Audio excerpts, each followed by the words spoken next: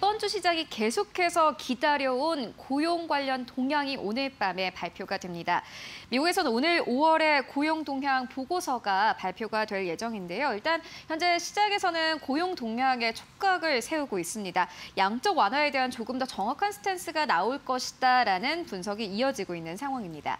그리고 오늘 제롬 파월 연준 의장의 연설도 역시나 대기되어 있는 상태인데요. 이 제롬 파월 연준 의장은 중앙은행과 기후 변화라는 주제로 발언을 한다고 합니다. 어떤 내용들 나오는지 잘 살펴보셔야겠습니다. 네, 이어서요. 오늘 미국에서는 미국의 임상 종양 학회죠. 아스코가 개최가 됩니다. 우리 시장에서도 아스코와 관련된 종목들이 여럿 있습니다. HLB도 아스코에서 34개의 논문을 발표한다고 하고요. 삼성제약과 셀리드도 마찬가지로 아스코에서 임상 2상과 3상에 대한 결과를 발표한다고 합니다. 오늘 어떤 뉴스들 나오는지 잘 살펴보셔야겠습니다.